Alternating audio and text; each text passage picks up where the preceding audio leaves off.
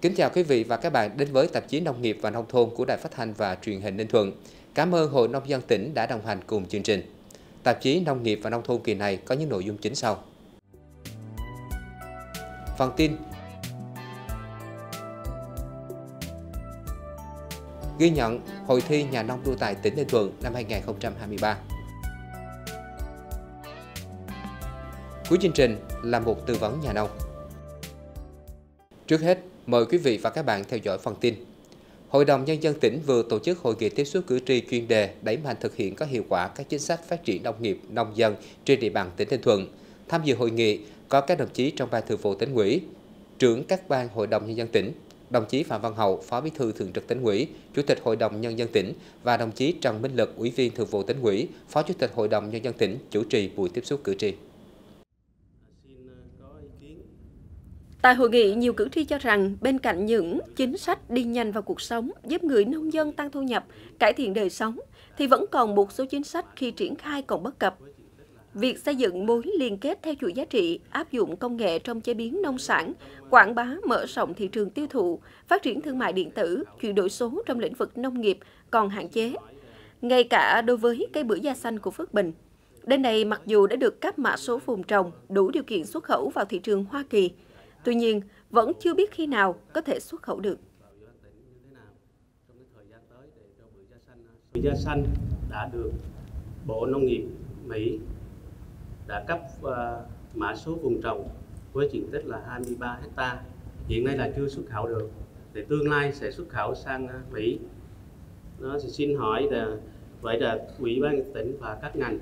thời gian tới về tương lai của bưởi Phước Bình về những giải pháp, nhiệm vụ và giải pháp của các ngành và ủy ban tỉnh như thế nào trong cái thời gian tới để cho bưởi da xanh sớm xuất khẩu? Tạo điều kiện tiếp cận nguồn vốn phát triển sản xuất được thuận lợi hơn. Thứ hai là cái đề nghị hội đồng nhân dân ủy ban nhân dân tỉnh quan tâm có chính sách hỗ trợ một phần kinh phí từ ngân sách cho các đơn vị doanh nghiệp đầu tư công nghệ chế biến sau sản phẩm nông nghiệp, đồng thời tiếp tục kêu gọi các nhà đầu tư hỗ trợ công nghệ chế biến, tìm các thị trường đầu ra với giá cả ổn định. Tại hội nghị, nhiều ý kiến cũng cho rằng phát triển kinh tế tập thể là tất yếu. Tuy nhiên, các hợp tác xã lại hoạt động rất chật vật vì khó tiếp cận vốn tín dụng. Do đó, các hợp tác xã chưa phát huy được vai trò là chỗ dựa cho nông dân để hình thành các chuỗi liên kết và mở rộng thị trường. Ủy ban tỉnh và ngân hàng nhà nước tiếp tục quan tâm tháo gỡ những khó khăn để các hợp tác xã thuận lợi hơn trong việc tiếp cận các nguồn vốn tín dụng kiến nghị ủy ban dân tỉnh có văn bản kiến nghị chính phủ thành lập một gói tín dụng hỗ trợ phát triển kinh tế tập thể hợp tác xã trong toàn quốc Đối với các doanh nghiệp đầu tư vào lĩnh vực nông nghiệp cũng gặp khó khăn khi tiếp cận các chương trình dự án chính sách hỗ trợ của nhà nước. Tôi thấy 10 cái dự án mà có hai doanh nghiệp được hỗ trợ thì chứng tỏ là cái tiêu chí các nghiệp không đạt. Chúng ta xem lại các tiêu chí này. À, bên cạnh đó chúng ta doanh nghiệp đầu tư vào nông nghiệp nông, nông nghiệp và nông thôn thì cũng có một doanh nghiệp thời gian đến chúng ta cũng có một chính sách nào để điều chỉnh lại để thu hút các doanh nghiệp đầu tư vào cái nông mảng nông nghiệp công nghệ cao để hỗ trợ cho bà con nông dân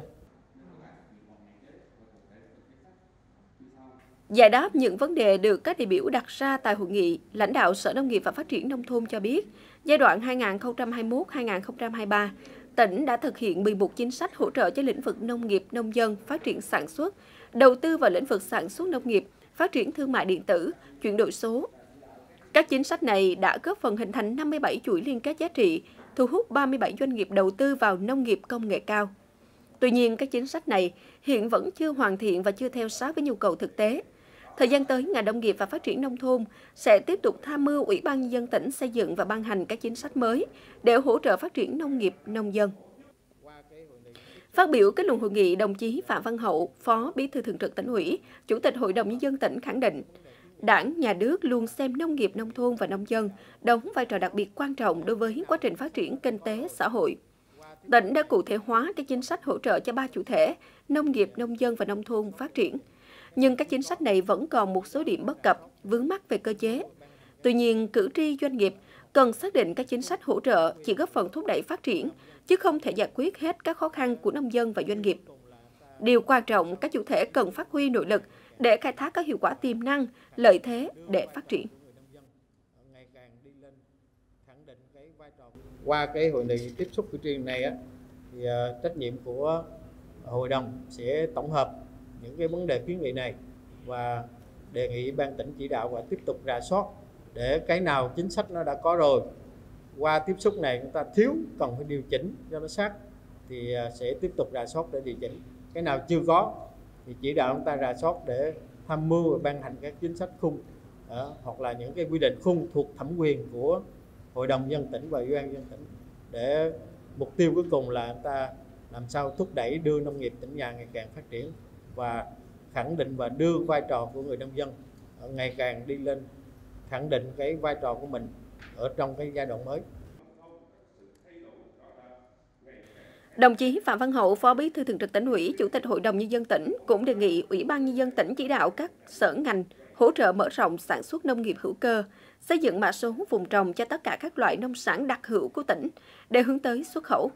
Huy động cả hệ thống chính trị đẩy mạnh việc tuyên truyền các chính sách hỗ trợ đến nông dân, cộng đồng doanh nghiệp và xây dựng cơ chế phối hợp đồng bộ phát triển nhóm chính sách từ sản xuất chế biến đến tiêu thụ, chuyển đổi số, nâng cao năng lực quản trị, đồng thời giải quyết các khó khăn về vốn cho các hợp tác xã. Chuyển sang phản ánh tin tức đáng chú ý khác. Nhằm ứng phó với hạn hán, biến đổi khí hậu và góp phần đảm bảo an ninh nguồn nước, Ban Quản lý Đầu tư và Xây dựng Thủy Lợi 7, Bộ Nông nghiệp và Phát triển Nông thôn đang triển khai kế hoạch lựa chọn nhà thầu thực hiện dự án hệ thống chuyển nước Tân Mỹ, Hồ Bà Râu, Hồ Sông Trâu với tổng mức đầu tư hơn 440 tỷ đồng. Dự án sẽ xây dựng hệ thống kết nối liên thông các hồ chứa chuyển nước về các hồ, Bà Râu, Hồ Sông Trâu và đập Ba Hồ bằng hệ thống đường ống để khai thác hiệu quả nguồn nước của hệ thống thủy lợi Tân Mỹ đồng thời tạo nguồn cấp nước sinh hoạt, công nghiệp và các nhu cầu dùng nước khác thuộc địa bàn các huyện Thuận Bắc, Bắc Ái và Ninh Sơn, tỉnh Ninh Thuận, tạo nguồn tiếp nước cho vùng Nam, Cam Ranh, Khánh Hòa để ứng phó với hạn hán, biến đổi khí hậu và góp phần đảm bảo an ninh nguồn nước. Dự án được thực hiện trên địa bàn các xã Lợi Hải và Công Hải, huyện Thuận Bắc, xã Phước Hòa, huyện Bắc Ái, xã Lương Sơn và Lâm Sơn, huyện Ninh Sơn, với tổng diện tích sử dụng đất khoảng 31 hectare.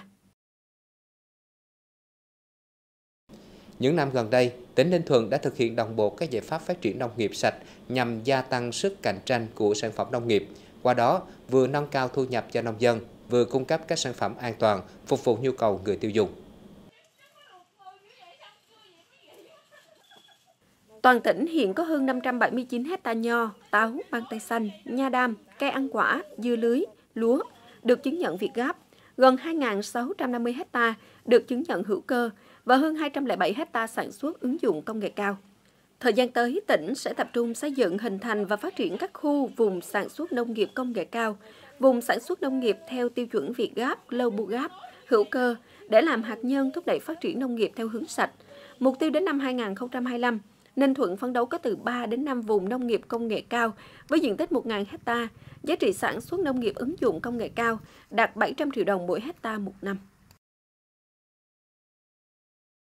Huyện Ninh Phước đang đẩy mạnh việc nâng tầm giá trị nông sản qua chương trình mỗi xã một sản phẩm, gọi tắt là chương trình OCOP. Các sản phẩm khi được công nhận OCOP không chỉ khẳng định giá trị mà còn góp phần thay đổi tư duy, phương thức sản xuất của nông dân địa phương. Thời gian tới, huyện Ninh Phước đẩy mạnh công tác hỗ trợ khuyến khích doanh nghiệp, hợp tác xã và các cơ sở sản xuất tham gia đăng ký chương trình OCOP, tập trung xây dựng chuỗi giá trị sản phẩm OCOP gắn với vùng sản xuất theo hướng nông nghiệp ứng dụng công nghệ cao, đồng thời tổ chức các lớp tập huấn cho các chủ thể về quy trình sản xuất các sản phẩm, mở rộng thị trường tiêu thụ để nâng cao thu nhập cho người dân. Năm 2023, huyện Ninh Phước dự kiến có thêm 13 sản phẩm được xếp hạng OCOP cấp tỉnh, Hiện nay, huyện đang tích cực phối hợp với các ngành của tỉnh xúc tiến thương mại, tăng cường quảng bá cho sản phẩm tiêu biểu của địa phương, kết nối sản xuất với tiêu thụ, đưa sản phẩm ô cóp lên sàn thương mại điện tử và phấn đấu 100% sản phẩm ô cóp của Ninh Phước tạo được tài khoản gian hàng trên các sàn thương mại điện tử của tỉnh.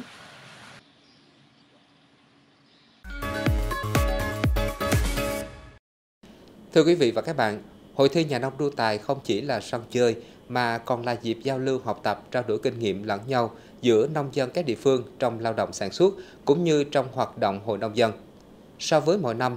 Hội thi nhà nông đua tài tỉnh Ninh Thuận năm 2023 diễn ra rất sôi nổi, hấp dẫn, tạo khí thế mới trong cán bộ hội viên nông dân, góp phần thúc đẩy các phong trào thi đua yêu nước, nhất là phong trào nông dân thi đua sản xuất kinh doanh giỏi, đoàn kết giúp nhau làm giàu và giảm nghèo bền vững. Ghi nhận của phóng viên tạp chí Nông nghiệp và Nông thôn. Tham gia hội thi nhà nông đua tài năm nay có 7 đội thi với 70 thí sinh là cán bộ hội viên nông dân đến từ 7 huyện, thành phố. Các đội tranh tài ở 4 phần thi gồm chào hỏi, hùng biện, trắc nghiệm và thực phẩm. Chủ đề hội thi xoay quanh tìm hiểu chủ trương đường lối của đảng, chính sách pháp luật của nhà nước về nông nghiệp nông thôn nông dân, xây dựng nông thôn mới, tái cơ cấu ngành nông nghiệp gắn với ứng phó biến đổi khí hậu, sản xuất nông nghiệp công nghệ cao, an toàn thực phẩm, bảo vệ môi trường à, tham gia phần thi à, với cái à, à, tinh thần là giao lưu học hỏi. Bên cạnh đó cũng đầu tư rất là nhiều về à, nội dung cũng như là hình thức để mà phần thi mang lại những cái hiệu quả cao nhất và giành được giải tốt nhất trong à, hội thi năm nay. Mình cũng mong muốn là ban tổ chức ừ, chỉ tổ chức thường xuyên sau này cho hội cái nông dân mình à, để sát gần hơn với nhau để học hỏi hiểu biết à, để cho ừ, kiến thức mình rộng hơn nữa. Hội thi nhà nông đua tài là dịp để hội viên nông dân trong tỉnh thể hiện vốn kiến thức về nông nghiệp nông dân nông thôn, đồng thời góp phần cổ vũ mạnh mẽ các phong trào thi đua yêu nước, chào mừng thành công Đại hội đại biểu Hội nông dân tỉnh Ninh Thuận khóa 9, nhiệm kỳ 2023-2028 và tiến tới chào mừng Đại hội đại biểu toàn quốc Hội nông dân Việt Nam khóa 8, nhiệm kỳ 2023-2028. Và đây cũng là một cái sân chơi sau những cái à, giờ lao động để rồi là à, cái phát huy giữ gìn cái bản sắc văn hóa à, dân tộc. Rồi cũng như trao đổi cái kinh nghiệm trong quá trình tuyên truyền vận động rồi các cái mô hình à, phong trào thi đua sản xuất kinh doanh giỏi à, góp phần để giảm nghèo à, bền vững.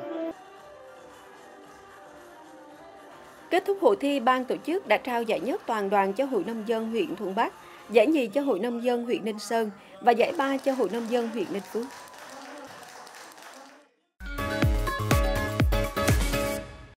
Nho là cây trồng có giá trị kinh tế cao nhưng lại rất mẫn cảm với thời tiết. Vì vậy, để sản xuất hiệu quả loại cây trồng khó tính này, với sự hỗ trợ hướng dẫn của ngành nông nghiệp, nhiều trang trại và hộ trồng nho ở Ninh Thuận đã mạnh dạn thử nghiệm mô hình trồng nho trong nhà màng nhằm hạn chế tác động của các điều kiện thời tiết bất lợi và nâng cao năng suất, chất lượng trái nho.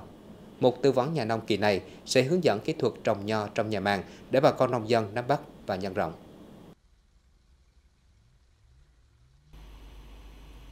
Một, cách làm nhà màng. Để trồng nho trong nhà màng đạt hiệu quả, chiều cao của nhà màng phải cao hơn 2 mét, tốt hơn là chọn một thiết kế hình vòm. Nhiều giống nho bắt đầu kết trái sau khi trồng một năm, vì vậy khung nhà màng phải được làm bằng chất liệu bền đẹp và sử dụng được nhiều năm. Nhà màng phải được thông gió thường xuyên. Đối với một nhà màng nhỏ phải làm ít nhất hai lỗ thông hơi mở. 2. Thời gian trồng nho trong nhà màng. Trồng cây con trong nhà màng bắt đầu vào tháng 11 hoặc đầu mùa xuân.